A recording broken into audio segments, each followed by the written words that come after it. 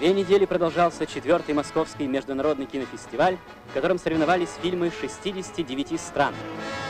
В Кремлевском дворце съездов на заключительном вечере москвичей и гостей столицы приветствовал председатель Государственного комитета Совета министров СССР по кинематографии Романов.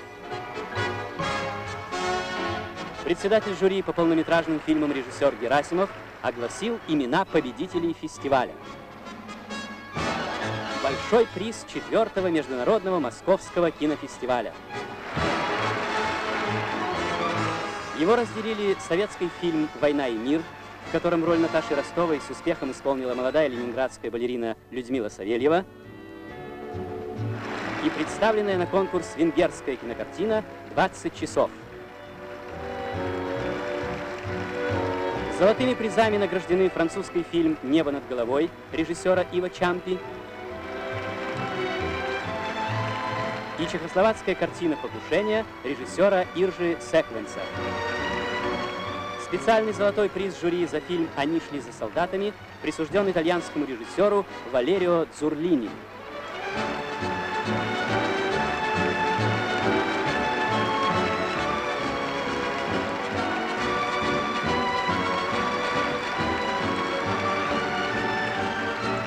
За лучшее исполнение женской роли приз получила героиня фильма «Брак по-итальянски» актриса Софи Лорен.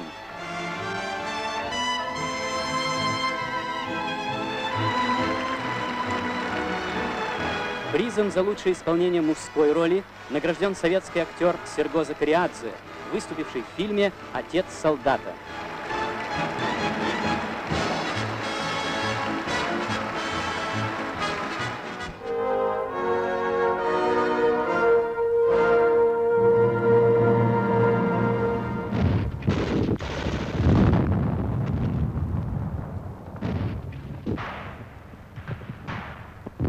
Вот он, герой фильма «Отец солдата», крестьянин из Кахетии Георгий Махарашвили.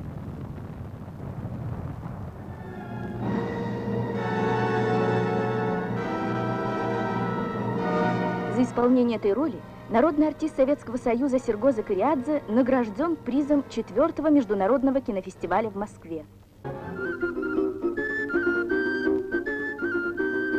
На родине артиста встретили пиршеством.